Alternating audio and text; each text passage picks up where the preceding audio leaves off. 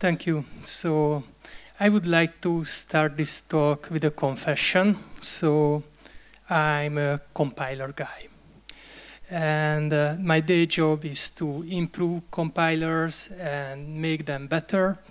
I even teaching advanced compiler construction at the university, writing papers about compilers. So at this point, you might wonder, uh, what am I doing here? So what, what is the connection between the compilers and big data?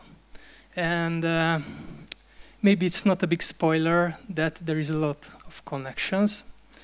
And maybe you can recognize some of the frameworks on this slide. All of these frameworks have compilers included in some way or others. Uh, and uh, I will talk about uh, Apache Flink, Apache Spark, and also about TensorFlow. I think it's uh, not hard to uh, think where the compiler is within Hive. So basically every time when you are using these frameworks, you are using compilers in a way uh, that you might uh, not expect it. And in fact, compilers are everywhere. So not just in big data frameworks, but also, for example, within browsers. Browsers are like a compilation of compilers. There are lots of them in a browser. For example, for HTML, CSS, JavaScript, etc. Uh, in every database system, there are compilers to compile your queries. Even in your graphics drivers, there are compilers that are, for example, compiling your uh, shader programs to the card that you are using. So why do we use compilers? Uh, most of the time we use compilers to get performance. So the question is, why do we want performance? Of course, performance is cool. Everybody wants to write uh, fast applications.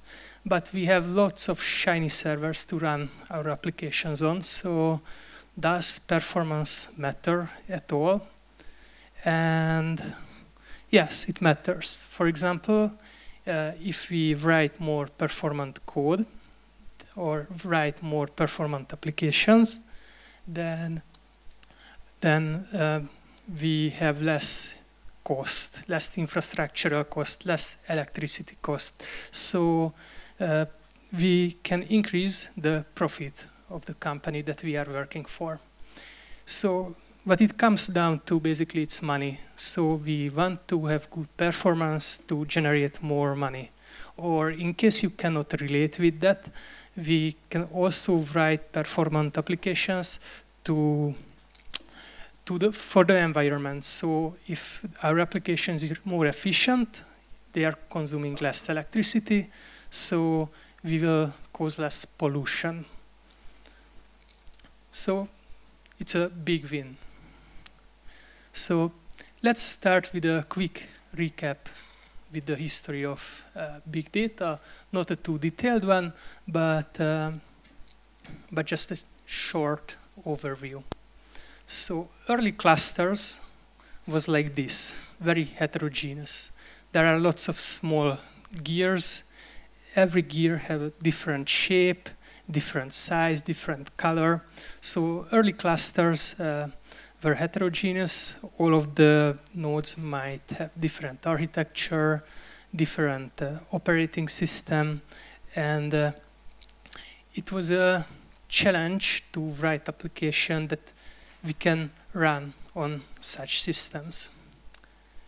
And of course, one of the big bottleneck was the I.O., the network I.O. or the hard drive I.O. So most of the applications uh, weren't uh, bottlenecked on the CPU, but on some I.O. operation. We even uh, went to the extremes and, well, actually, if you think of HDFS, there are even a file system which is implemented in Java, implemented in, in a garbage collected lang language, a file system which is inherently a low-level layer that is usually part of the operating system, sometimes running in the kernel space. So even this low-level concept is uh, re-implemented in a high-level garbage collected language. And for the because of the garbage collector and the poses, uh, it has a bigger latency. And there are even some companies, for example, MapR, when, where one of the selling points of their product is that they rewrote uh, the HDFS in, in a native language, so they have much smaller latencies, so they can um, they can have a better performance in some sense. And also the early big data applications were doing batch jobs. And when we are talking about batch jobs, we do not care that much about latency. What we really care about is throughput. And garbage collection can be uh, very can have very reasonable performance, a modern garbage collector when it comes to throughput. I have a second confession to make. It's still not a coming out, so don't worry. I'm a native developer, so I'm so I'm developing native applications. Moreover, I'm developing compilers for native languages in native in a native language. So I'm a little bit biased, but even though I am biased, I'm not here to bash anyone for his decisions because in that environment I described earlier, it made a lot of sense to use a JVM language. So I think at that time it was a pretty good choice to implement our frameworks in JVM.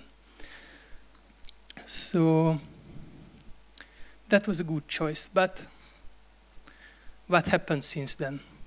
I ran out of stock photos, but uh, what happened in the big data skin?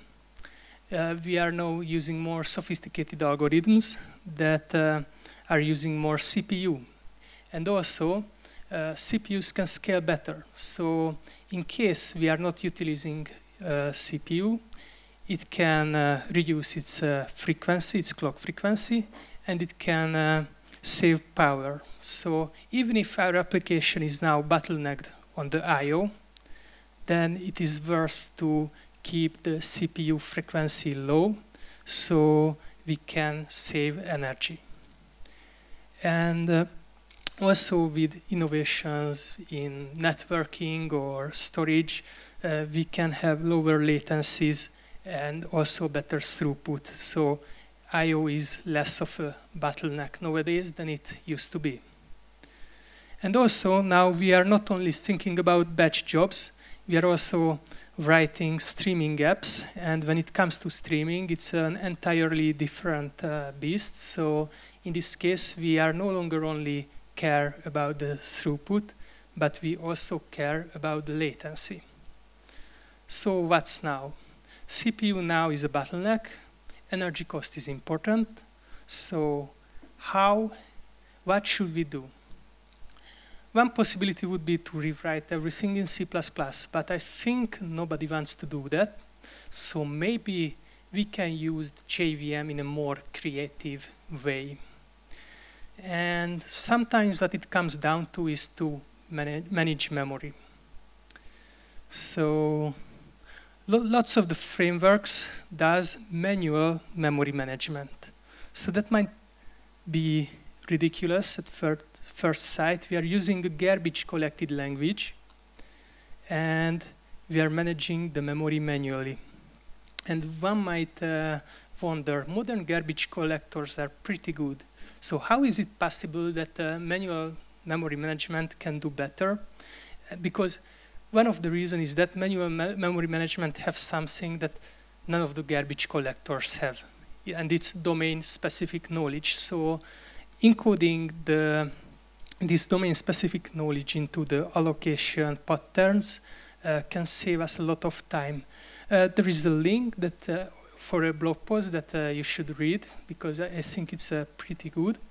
And uh, the what is nice when you are using these frameworks, when you write application code, you can still use the garbage collector. The memory management is still automatic. This manual memory management is only used within the framework somewhere deep that you do not need to know about. So uh, only the framework writers need to do this. How, is, how can you do manual memory management in Java? You can, for example, allocate a huge array of bytes, and then you can write your own allocator on top of it. So basically, that's what they are doing.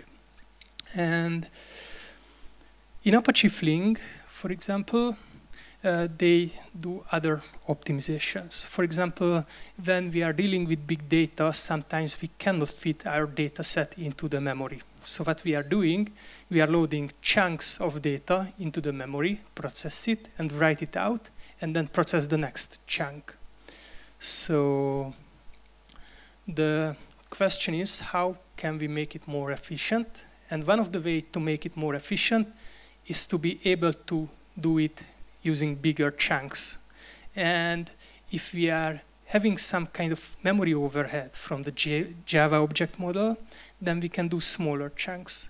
So what we can do, stop using the Java object model, and instead of working on Java objects, we can work on raw data. And this way we can fit more data into our memory. We can work on bigger chunks, and we can have better performance. So this basically means uh, for Apache Flink that Apache Flink is work some, most of the time on serialized data. Not so not on, the framework not only serializes the objects for sending over the network or writing it out to the disk, but for example, some of the processing like sorting the data can be done on the serialized format. And when we are using serialization extensively, then serial serialization can become a bottleneck. So what's the problem with this serialization? In case of Flink, this is a code snippet from Apache Flink. This is how plain old Java objects are serialized. So there is a loop that for all fields, we are using reflection to get the value of a field in case that field was a null, then we write out a boolean flag that it was a null. In case it wasn't null, we write out a boolean flag it wasn't null, and then we call the appropriate serializer for that field. So the problem is, one of the problem is that uh, the number of fields is different for each of the plain or Java objects. So the JVM cannot unroll this loop. And in case it cannot unroll this loop, it cannot inline the call to the serializer, to the fields serializer. So we lose lots of optimization opportunities. And also, we are using reflection to get the values of the fields, which is very slow. And we need to add extra code to deal with subclasses and there are, of course, the null checks I was speaking about. So the problem is this code is correct for the general case, and there is no specialization. So it would be better to have specialized code for each of the plain old Java objects that are only good at serializing that object type, but it can do it very quickly. So how Flink worked from the high level overview. When there is a plain old Java object, it have a run it has a runtime type. Flink has a runtime type, type system. So we have a type, sys, type info for that. The type info will create the serializer. And the same serializer will then serialize different uh, plain old Java objects. And when we add code generation, runtime code generation to the skin. So in case we would like to generate specialized serializers for each of the different plain old Java objects, then we have a slightly different pipeline. So using a template and the type information, we can generate Java code at runtime. We can use a compiler at runtime to compile the Java code. And then we will get a class loader that we can use to load this serializer. And uh, then the just generated serializer can be used for only one type of objects, but it can serialize that type of object very efficiently. One of the problems is that we also have to serialize the serializers because we are talking about clusters and data are going everywhere. So sometimes serializers are, are written out to the disk. Sometimes the nodes are sending serializers to each other. So what happens when we have multiple nodes? So let's imagine JVM-A compiles one of the one of the generated serializer, and we want to send that serializer over the network to JVM-B. The problem is that JVM-B have no knowledge about the class of this serializer because it wasn't compiled on JVM-B, so we cannot deserialize it because we cannot deserialize an object that we do not know what class it belongs to. So we can introduce a wrapper. So instead of sending the serializer over the network, we can send the code of the serializer, and we can recompile that code on the other JVM and use the recompiled code. So let's try this out. And when I tried it out, I got an exception like this. Serializer A cannot be cast to serializer A. So it's the same type. I was a bit surprised. And what happens in the background is Java do not use uh, nominal type system. So two types in order to be equi equivalent, it is not enough their name to be equal, but also they needs to be loaded with the same class loader. So in case I'm loading the same Java class with two different class loaders, then I will end up with two different types that happen to have the same names. So basically, it's, it's the kind of black magic that we need to deal with when we are adding code generation to these frameworks. And the good news is that uh, you do not need to do that work because that, that is already done. It was done in a Google Summer of Code project. And the result was a 20% improvement of performance, which is significant. And why do I say that it is significant? Because uh, it means 20% less electricity cost, or it can mean 20% more users.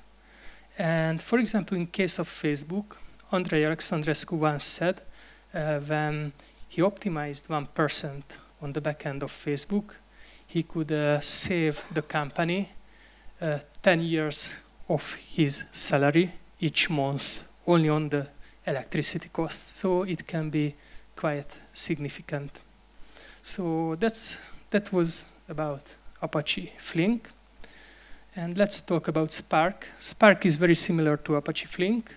And in fact, Spark is using very similar techniques. So for example, Spark is also using manual memory management within and uh, it is it is also using runtime code generation.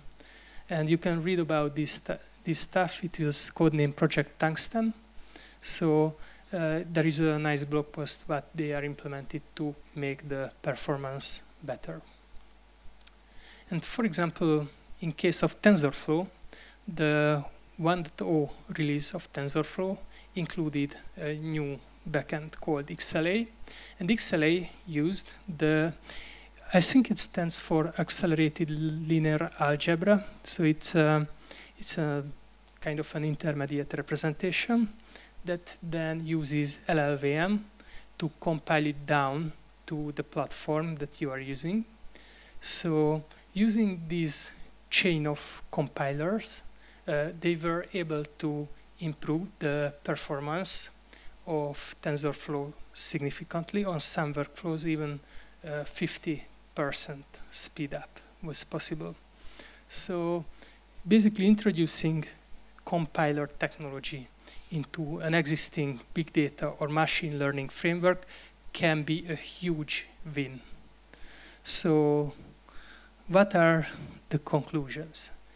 We are living in, interesting times because it looks like most of the frameworks are just realized in the last one or two years. It is very useful to include much compiler technology into the stack that you that we are using. And nowadays, almost all of the popular frameworks have lots of compilers included, and uh, that can help the performance a lot. So do you need to study compiler technology? And the answer is no. If you are developing applications and you are using these frameworks, you do not need to know about uh, all these optimizations that these frameworks are doing, but awareness, awareness might help. So in case you are debugging an, a hard issue, it, it is good to know what happens in the background. Even if you do not have a detailed knowledge of compiler technology, it is good to have a high-level overview what happens so it makes you easier to debug that particular problem in case it is related to that part of the framework. But if you are a framework developer, then you need to think about compilers and in case you are looking into improving the performance of the framework that you are working with, then you should look out for opportunities from a compiler developer's point of view. Well, thank you for your attention.